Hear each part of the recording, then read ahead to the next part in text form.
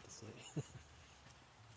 As for doubt, I can honestly say that when I was a Christian, I don't ever remember doubting the existence of God or the truth of Christianity. Not even for a moment, not even once. and at age 43 as an atheist, I look back and I think I'm kind of embarrassed and humiliated that I never did.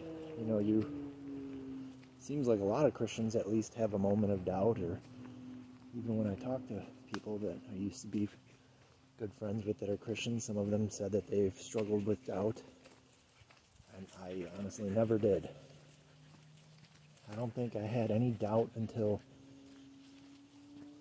probably just before I realized I didn't believe. And I was never the type that something bad happened to me and I'm hurting or angry or disappointed and then I blame God because my understanding was that God is a good God and you can look at the book of Job or just, just many of the Bible characters, and they went through a lot of junk.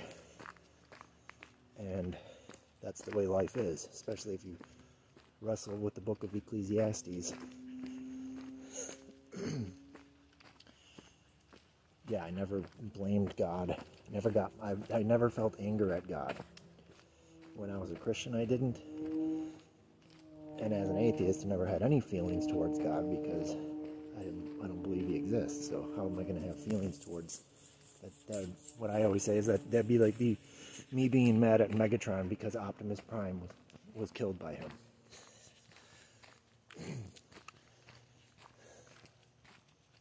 Optimus or um, God is a depending on the context in the Bible. Sometimes he's a very admirable character. Sometimes he's a very fearful character. He can be the villain and he can be the hero. He, um, the many faces of God, contradictory faces of God in the Bible. Uh, hold on. There was one aspect of dispensational eschatology.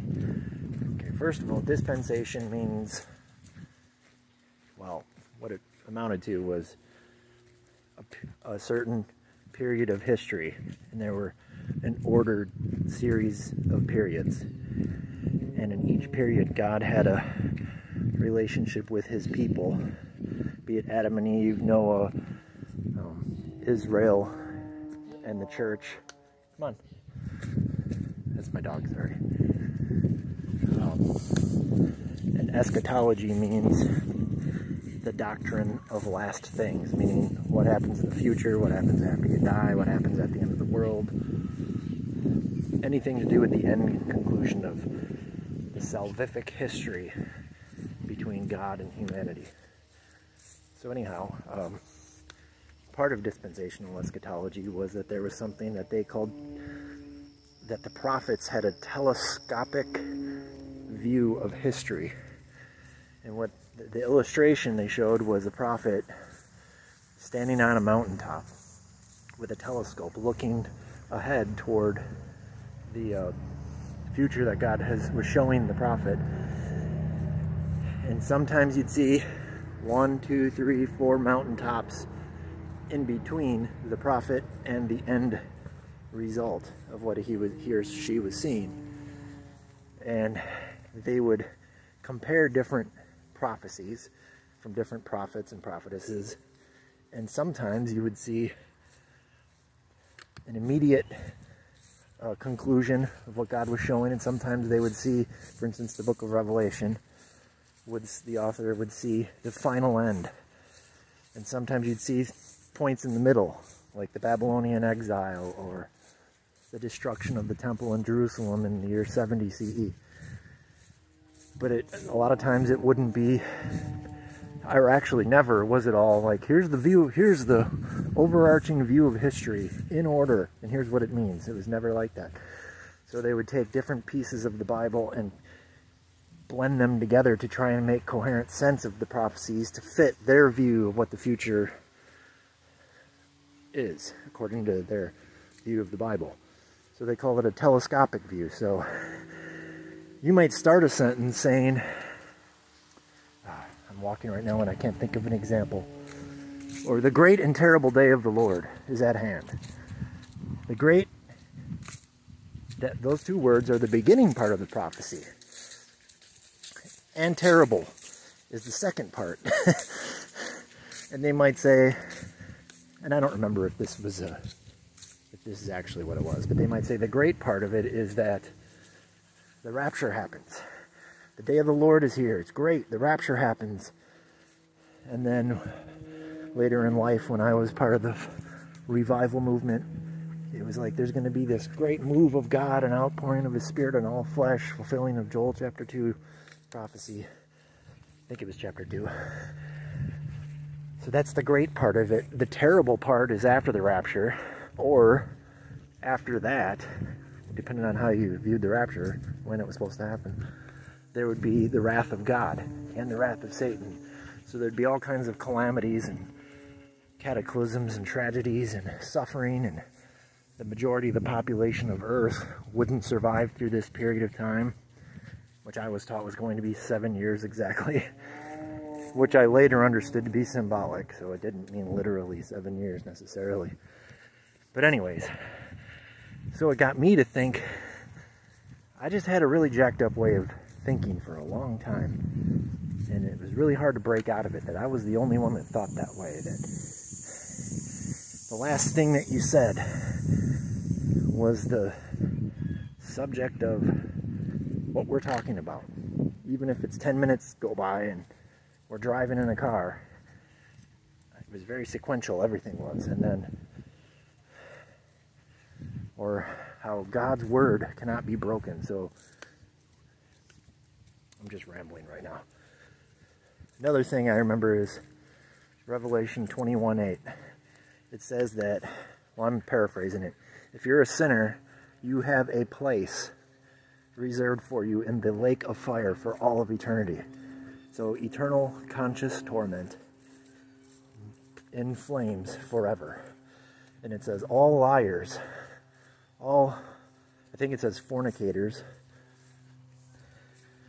the dogs, which some interpret to mean the homosexuals or guys that rent gay prostitutes so they can bang them in the rear end. Whatever it meant. Anyways, the thing, it said all liars. And that one is what really, really shook me because it said all liars have a place in the lake of fire. So I thought, I better not ever, ever lie, or I'm going to the lake of fire. And I still remember being seven or eight years old, and I had my bicycle, and I went to my friend's Travis's house, and he lived two blocks away, down a block over, so no one could see me when I was on his street. My parents couldn't, my neighbors couldn't. And he was a year older than me and there was one or two other kids that were also that age and they would ride their bikes down the street and kind of race down the hill. And it wasn't a busy street it was a side street and they would uh they oh yeah they were tempting me you know come on let's race and i was like well i i'm not allowed to ride in the street unless i'm crossing the street and they're like who gives a care i was like well God does. I would literally say that. And they're like, dude, just come on. And I remember giving in and doing it. And they didn't think anything of it. We were just kids having fun. But for me, it was like, oh my God, I just sinned against the Lord and I lied, which qualifies me for the lake of fire. And I remember at dinner that evening with my parents and sister at the table. And um, my mom asked me, I don't remember exactly what. I don't remember if she said, Did you ride your bike in the street? Or something, but she asked me something and I, hold on, lied right to her face. And that, I've probably lied countless times before that, but for some reason I didn't think that I did. And But this time I was well aware that I was lying. And I was breaking another commandment, dishonoring my mother and father. And yeah, so at that point, I thought until, and I wasn't going to admit it to her, and I didn't. And of course, probably a year or two later, she gave in to my pressure and finally said it's okay if I ride in the street as long as I'm very careful. Being an overprotective mother, I get it. But I think that's the first time I started really thinking, you know, there's a growing chance that I'm going to end up in hell. And if the rapture were to happen right now, I don't know if I would be taken away. And have you saw the 1970s movies about the the number of the beast, where people's heads got chopped off at church because they missed the rapture and had turned to Christ after that and wouldn't take the mark of the beast yeah, that put the fear of Almighty God into me.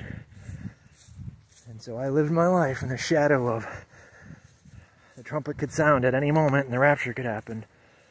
And I don't know if I'm going because I lie all the time. And I mean, I wasn't like a pathological liar like my, one of my close friends was as a kid, but I lied to cover my ass. And as a kid, I would exaggerate things, not even realizing I'm doing that. And then I started thinking, you know what, that, that, that makes it a lie if I'm exaggerating that.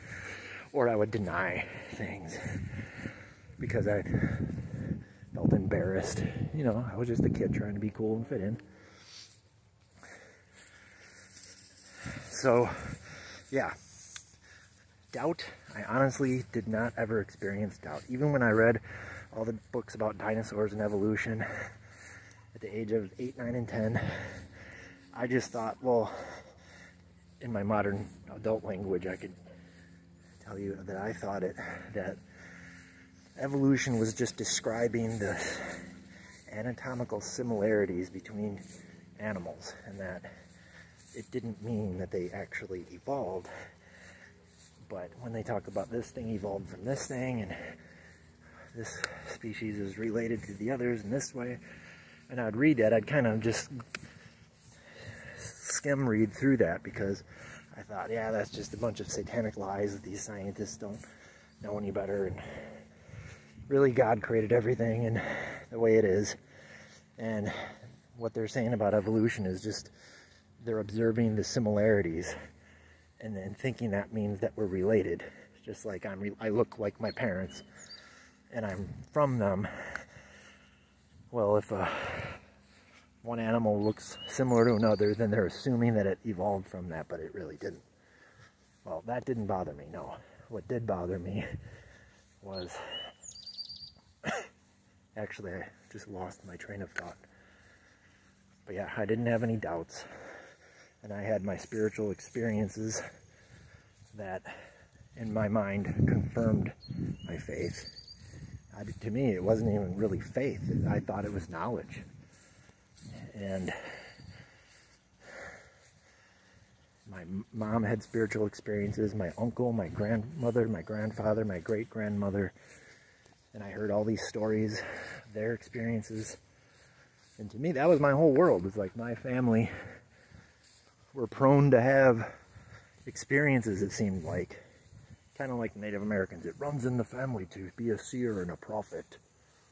But it doesn't. Well, maybe something does. I don't know. But I think it's because we were ignorant, poorly educated, charismatic Pentecostals. And when we read the Bible and it said Jesus did miracles and healing the sick, raised the dead, cast out demons, and other things were the norm.